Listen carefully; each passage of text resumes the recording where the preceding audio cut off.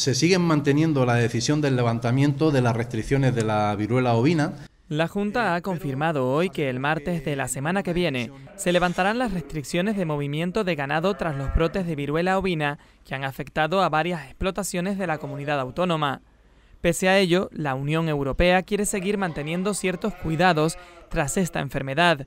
Desde la consejería responsable han explicado que no se va a poder sacar los animales de una explotación al matadero de forma directa y que el sistema se basará en que, por ejemplo, dos explotaciones que manden el cordero a un cebadero sí que podrán sacar cordero fuera de la zona de vigilancia, pero si lo hicieran de forma directa los propios ganaderos, no podrían realizarlo. O sea, es decir, se van a eliminar prácticamente todas las restricciones de movimiento en lo que es la zona de vigilancia y en ese sentido yo creo que va a facilitar muchísimo el aspecto comercial de tanto de los, de los criadores de, corderos como incluso también de los cebaderos, donde sí a través de un único punto de inicio podrá ir a, a, destino de matadero. Es decir, dos explotaciones que manden el cordero a un cebadero sí que podrán sacar cordero fuera de la zona de vigilancia, a matadero, pero si lo hicieran de forma directa los propios ganaderos, no podrían realizarlo porque tendrían que ir según establece la normativa ahí. Lo que persigue la Unión Europea es tener cautela. Porque no es que siga manteniendo restricciones, sino que eh, todavía hay que tener eh, ciertos cuidados. Este hecho quedará completamente eliminado a partir de septiembre, si no aparece, eso sí, ningún nuevo caso de viruela ovina.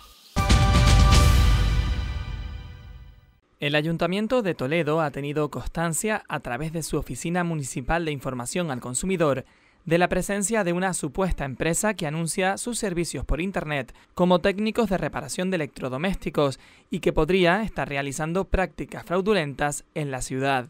Los vecinos afectados contactan con la empresa y concertan una visita a domicilio.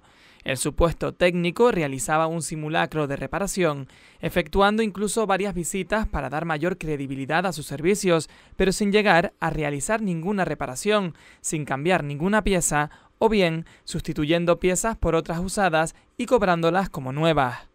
Finalizada la visita, cobraban en efectivo cuantías de aproximadamente 300 euros, fingiendo que tenían que regresar en otra ocasión para finalizar la reparación.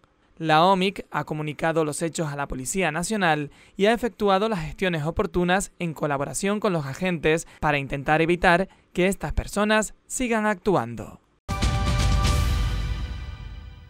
El Ayuntamiento de Toledo informaba ayer de la recuperación de 48 sepulturas en el cementerio municipal, una actuación, decían desde el equipo de gobierno, que se hacía de manera urgente debido a la escasez de espacio. Se apoyaban en un informe técnico de abril de este mismo año en el que figura que el cementerio municipal tan solo cuenta con siete fosas de enterramiento y 12 nichos disponibles, Reprochaban, además, la actitud del anterior equipo de gobierno que, conociendo la situación, no han hecho absolutamente nada, explicaban en nota de prensa. Por su parte, la concejal del Grupo Socialista, Marta Medina, quiso dejar claro que la recuperación de esas 48 sepulturas en el cementerio es un proyecto que con presupuesto de 200.000 euros lo dejó listo para licitación en el mes de junio el gobierno que presidía Milagros Tolón. Es un problema que quedó solucionado, del que no han tenido que buscar el dinero para su ejecución por el anterior gobierno y por eso pedimos al portavoz del gobierno de PP y Vox que deje de mentir, que deje de alarmar y desde luego que no utilice un tema tan sensible para hacer política contra el anterior gobierno cuando quedó resuelto. Le pedimos de nuevo al gobierno local que se ponga a trabajar, que deje de hacer oposición a la oposición, que no manipule y que lleve a cabo los proyectos que dejó listos y en marcha el gobierno de Milagros Tolón. Esto es simplemente ejecutar y no hacer política de ello. Además, Medina ha recordado que desde 2015 hasta 2023 el ayuntamiento invirtió en torno a un millón y medio de euros en distintas actuaciones de mejora del Camposanto. Se siguen manteniendo la decisión del levantamiento de las restricciones de la viruela ovina la Junta ha confirmado hoy que el martes de la semana que viene se levantarán las restricciones de movimiento de ganado tras los brotes de viruela ovina que han afectado a varias explotaciones de la comunidad autónoma. Pese a ello, la Unión Europea quiere seguir manteniendo ciertos cuidados tras esta enfermedad. Desde la consejería responsable han explicado que no se va a poder sacar los animales de una explotación al matadero de forma directa y que el sistema se basará en que, por ejemplo, dos explotaciones que manden el cordero a un cebadero sí que podrán sacar cordero fuera de la zona de vigilancia, pero si lo hicieran de forma directa los propios ganaderos, no podrían realizarlo. O sea, es decir, se van a eliminar prácticamente todas las restricciones de movimiento en lo que es la zona de vigilancia y en ese sentido yo creo que va a facilitar muchísimo el aspecto comercial de tanto de los, de los criadores de, corderos como incluso también de los cebaderos, donde sí a través de un único punto de inicio podrá ir a, a, destino de matadero. Es decir, dos explotaciones que manden el cordero a un cebadero sí que podrán sacar cordero fuera de la zona de vigilancia, a matadero, pero si lo hicieran de forma directa los propios ganaderos, no podrían realizarlo porque tendrían que ir según establece la normativa ahí. Lo que persigue la Unión Europea es tener cautela. Porque no es que siga manteniendo restricciones, sino que eh, todavía hay que tener eh, ciertos cuidados.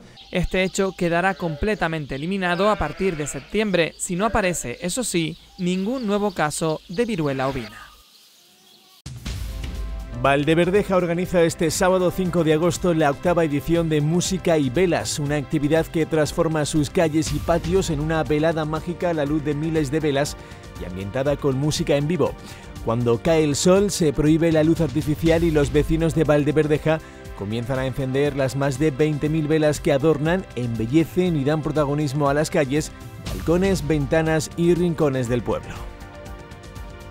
El Ayuntamiento de Maqueda, dentro de las actividades de verano, informa que el próximo 9 de agosto la piscina municipal abrirá en horario nocturno, es decir, además del horario habitual, permanecerá abierta de 9 de la noche a 23 horas.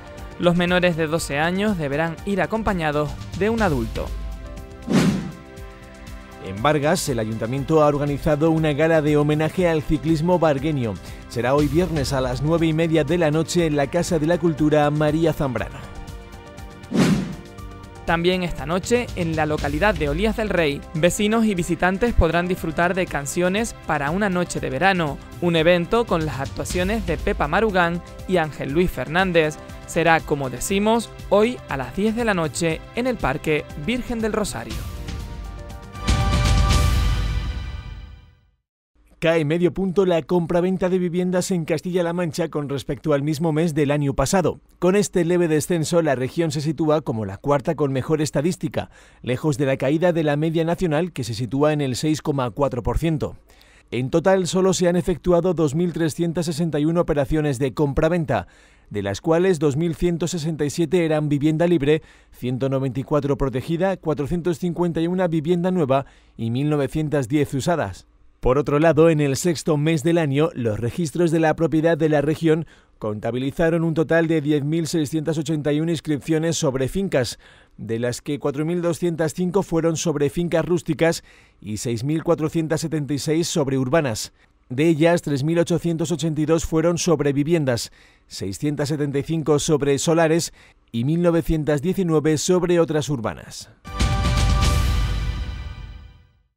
El gobierno de Castilla-La Mancha ha rebajado las previsiones de la vendimia de este año de 21 a unos 19 millones de hectolitros y ha descartado casi al 99% que se vaya a tener que producir una destilación de crisis. La tendencia con los datos que tenemos es una ligera tendencia a la baja en cuanto a las primeras previsiones que realizábamos, como además advertíamos por las condiciones climáticas, mucha temperatura muy alta, escasez de lluvias, pues la previsión que lanzábamos de 21 millones de hectolitros posiblemente se va a reducir y pueda estar en el torno de los 20, no sé si 19, pero bueno, que más o menos será también una producción similar a la del año pasado. En lo que sí confían desde la Junta es que por las condiciones que se están dando, la producción sea de buena calidad y que pueda haber una buena añada y también una buena posibilidad de comercializar. Lo que sí que esperemos que tenga, por los condicionantes que se están dando, pues es una buena calidad que pueda poner de manifiesto pues que tendremos una buena añada y por lo tanto también una buena posibilidad posibilidad de comercializar. Si esto se une a los remanentes que quedan en bodegas, los datos apuntan que estamos en menos de 11 millones de hectolitros, algo que no debería inferir en los buenos precios que deberían cobrar los viticultores por la uva que este año se pueda recolectar, concluyen desde el gobierno regional. En Castilla-La Mancha, durante la jornada del sábado van a predominar los cielos despejados o con algún intervalo de nubes altas. Comienza a retirarse la masa de aire más frío, por lo que las temperaturas volverán a subir, especialmente en el norte de la comunidad. Valores de 35 grados en Toledo y Ciudad Real, 33 grados en Albacete y Guadalajara, 32 en Cuenca. El cielo estará totalmente despejado, el viento soplará del norte flojo en general.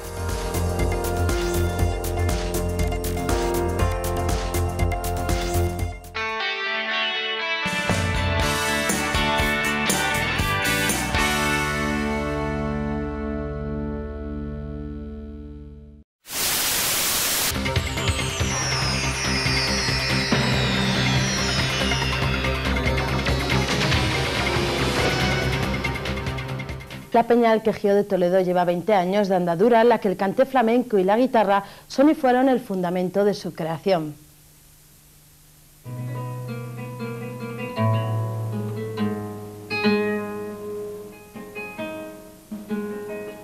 Ya, ya.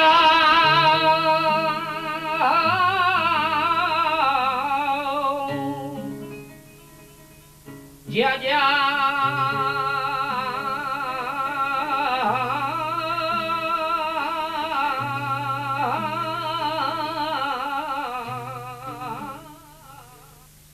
Todos los viernes del año, salvo imponderables, la sede social de la Peña El Quejío de nuestra ciudad se convierte en un escenario donde el cante y el garraspeo de la guitarra hacen que las palmas suenen entre los aficionados. Pues aquí se celebra lo que se celebra en este local normalmente pues todos los viernes, muchos sábados, todos los lunes y muchos días de la semana. Pero bueno, hoy es un poquito más especial, más que los viernes, puesto que, que vienen cantadores ya, diríamos, profesionales y guitarristas. Juan González, su presidente, más adelante en otra fecha especial, la del sábado 15 del actual, que el cante era un arte sublime, una gran mística. El fuego del amor arde en tu sol.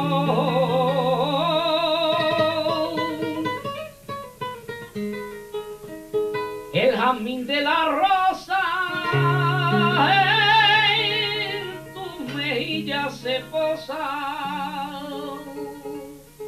Esta peña se crea hace justo 20 años, en el año 82 se da de alta. Se crea, pues yo que sé, pues como todas las cosas, pues en torno a una copita de vino, había unos, unos amiguetes, unos amiguetes de Castilla-La Mancha y vamos, de Toledo y de y algunos andaluces, y dijeron, ¿por qué no hacemos una peña? Bueno, hicieron esa peña. La actuación en esta cita de la Peña El Quejío tuvo como protagonistas al cante Roque Barato, el Torres, y al toque Antonio, el de la Alfonsa, ambos de Moral de Calatrava.